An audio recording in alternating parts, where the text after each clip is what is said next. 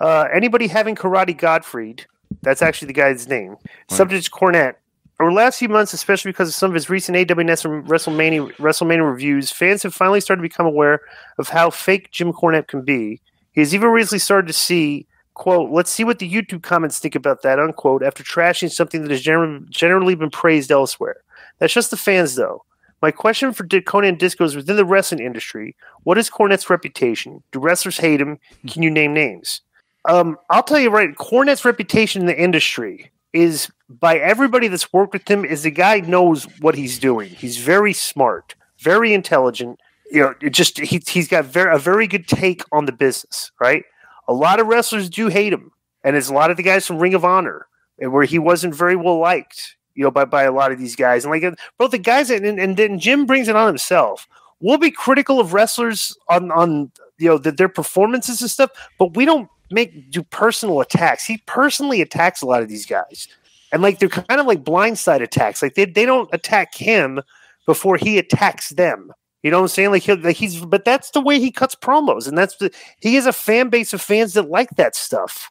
You know, but but you know he's got still got a lot of respect in the business for his his takes on the business but even now he's kind of like you know he used to be tight with ross and they're not tight anymore they're like he's he's burning a lot of bridges you know because he's kind of like really personal with it with, with, with it he hates the young bucks he hates kenny omega i mean and that's you know i don't hate those guys like he like he hates what they do.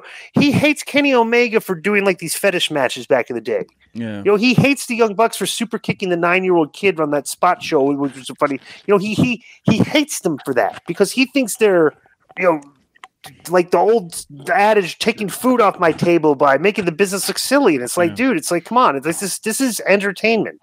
You know, this isn't drawing back in you know 25 years ago where the fans thought it was real and stuff and this is a different form of entertainment it's like you know and then like it is what it is so i would agree with everything that you just said i would also add to that he's one of the smartest guys i've ever met he's a genius he's hilarious mm-hmm. um, i don't know what he has against us because i've invited him on the show many times and he doesn't even have the courtesy to respond right but i really don't give a because because i was Russo because i was russo's friend like i guarantee oh, is that why that's, that's absolutely stupid. It, was, it that's is. snowflake.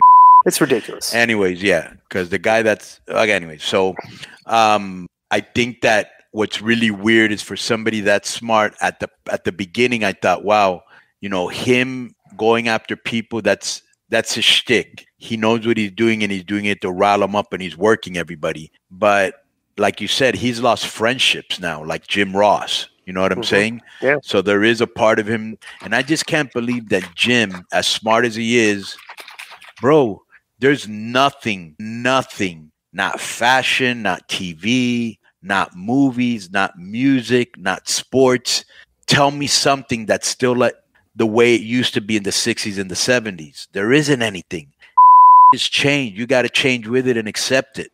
You know, what was in your time was a different wrestling, which you know now is for the minority you could probably find it in some places but the majority is some things is consuming something else yeah